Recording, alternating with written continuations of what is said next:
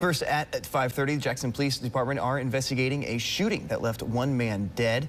The shooting happened in the 3000 block of Livingston Road. The victim has been identified as 47-year-old Willie Luckett.